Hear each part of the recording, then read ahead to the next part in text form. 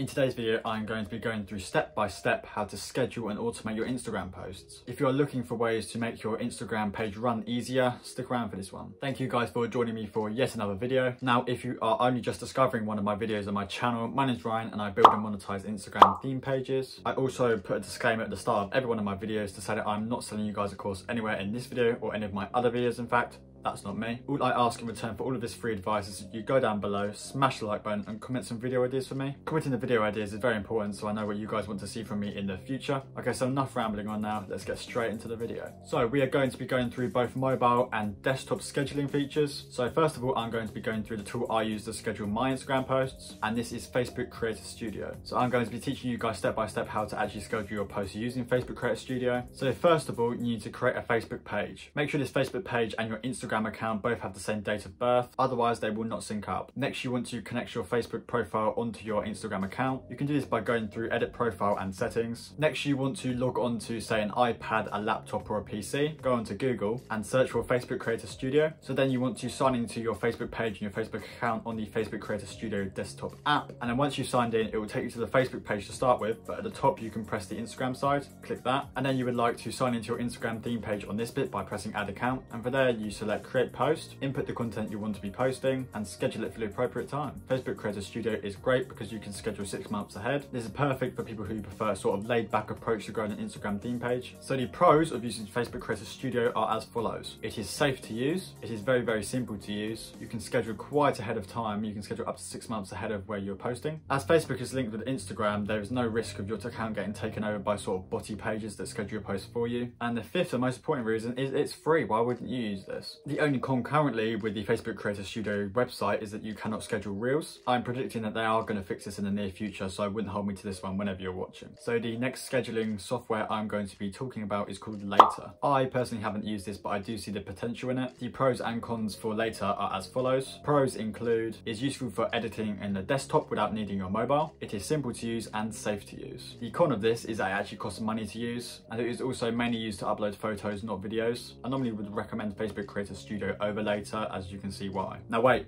have you guys liked the video yet? Make sure to go down below and absolutely obliterate the like button for the YouTube algorithm. This helps my videos be pushed out to a wider audience and grow my page. Cheers guys. So this is a way to automate your Instagram page on the go on your mobile. You can actually save drafts on the actual Instagram app. This saves time by going through and having to create all the posts manually and then post. You can create a bunch of drafts and then do it one by one when you need to post them. The captions save on all your drafts, so you literally just need to paste your caption in and then press save. And then when you want to post it in the future, you just press post. This is also free to do as it's all inside the Instagram app. A great advantage of this is that you can actually do the same with Reels, not just feed posts. This is an advantage over things such as Facebook Creator Studio. But what I like to do is have Facebook Creator Studio and this drafts thing running at once. So I schedule my posts with Facebook Creator Studio, but I save my drafts as the Reels. Therefore they go hand in hand and help me to create my page and allow me to be pumping out lots and lots of content. This drafts on Instagram does sort of take away the automated side of it, but is very, very useful. So I advise using one of the websites such as Facebook Creator Studio and the Instagram Reels drafts things all together. So next of all, we are going to be talking through how you can plan your posts so they look the best on your feed. A great app I use on my phone for this is Planoly. Planoly helps you see what your feed's going to look like before you post it. I use this for when I create new accounts so I can see what my posts are going to look like straight away and what my feed sort of will look like as a style. So when you are creating the new account, I recommend Planoly. So now we're towards the end of the video. I wanted to talk about what content you should be posting on your Instagram pages to schedule, automate and plan. So this content should be viral content. Viral content is taken from other big pages in your niche that have done well and performed well in their pages and you can take that and repost that. When you're actually creating your Reel drafts, I also recommend a repost app on your mobile if you're going to do it that way. For your actual content, make sure you're only posting viral content as I said before and you're always using a call to action on your posts. A call to action pretty much calls your audience to do an action on your post such as like, save, comment, share. I find doing posts that could have a split opinion do well because a lot of people will be commenting and sharing to see what their friends' opinions are and see what other people in the community's opinions are on this subject. I recommend when you're also posting your content that you tag a location in it. For example, if I wanted to tag the location of Miami Beach, I could do that. Then people who search for Miami Beach and click locations, they can see my posts. This just widens your opportunity for reach, therefore more people are going to see your posts. I thought this was a good ending to the actual video to show you how to get your viral content and how to actually post good content on your page. If you'd like to see more of the content I spoke of towards the end of this video, then check out my other videos. I go really in depth on this. These are my previous accounts I've grown. So there's this one and there's this one. So this advice is all coming from the heart. So make sure you take advantage of it.